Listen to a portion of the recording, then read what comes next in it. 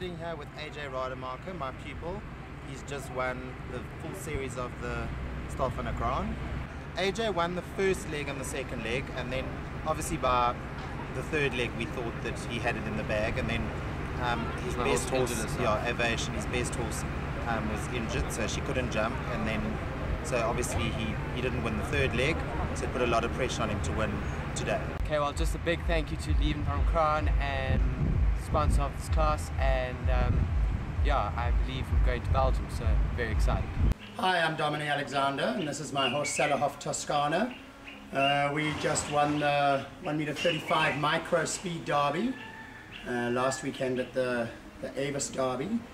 Um, Toscana is an amazing horse. She never lets me down. She uh, is a great winner. So she has prime spot in our stable yard here, overlooking everywhere. Um, just a real trier, and gee, I wish I had just one more of these because she's just so brilliant. Uh, the track really suited um, Tosca because you need a horse that's very fast across the ground and super careful. And that's what she is. I can gallop as fast as I can. There were, I think, 16 or 17 numbered jumps, but um, obviously there was a dike. Um, and I remember galloping as fast as I could into the dike, just saying, whoa, and she slows down. Um, she went off the bank, she did everything. I had a mistake at the water. I, I tried to angle it and turn inside, and but she was so fast that, you know, even with four seconds added, she still won. So the, the track was long, um, but she, she's just amazing. Hi, I'm John Corber and this is Piccadilly. We've just won the mini derby, the 140s, and we are so happy and I'm so grateful to have such an amazing horse. This is my husband Ray and he's supported me all the way. Thanks. Well, I knew she was going to win, especially because she's got the flu. Um, I just knew it was going to be a tough day, and Piccadilly helped her through through it all. It was a very challenging track, only three clear runs. and yeah, brilliant, brilliant combination. So all that's left now is to barge on uh, an- another horse that can jump the 150, so she can win that next year, because she won the mi- micro last year. Sure, talk about being on a roll. Um, you've had the most amazing year with this horse. He's only gone 150s this year. Yeah. And um, and you've had some big wins. And then to, you couldn't have a sweeter icing on the cake than to go and win the derby of everything. Um, you must be absolutely elated. Oh, I'm so proud of him. I'm so I'm still on cloud nine. I still can't believe it. The whole experience still seems a bit surreal to me.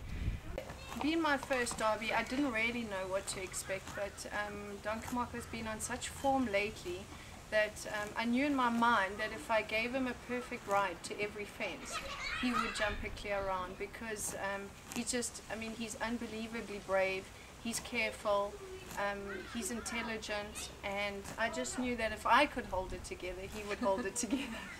What do you feel when you, you jump the double of gates and, and you cantering down to the last fence? Is it going through your mind like, oh, I've got one more to clear and then I'm the winner? Or, or is there anything specifically going through your mind?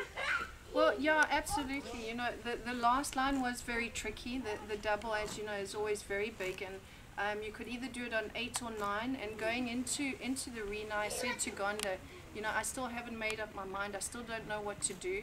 Um, so I just kind of relied on my eye, and um, when I cantered down on the eight to, to the last fence, as he took off, I knew it was the right decision. And I think uh, before I even landed, before he put his foot, feet on the ground, I was smiling because I knew he had he had jumped to clear. I also just want to thank my coach, Gonda. She's been my coach for over 20 years. Um, she's always been my inspiration. She's such a legend. Um, I lived and I worked for her for, uh, for, for many, many years.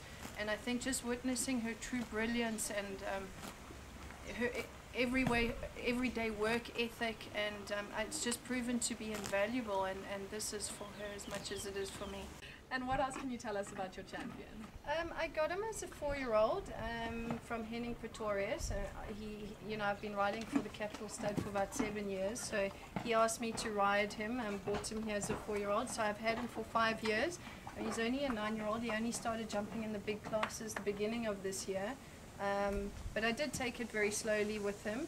I mean, he has it, he has been in the open classes for about three years, and um, yeah, and he's my little mouse with his pink nose and his big ears. That's his nickname, Mouse Mouse. and yeah, absolutely love him.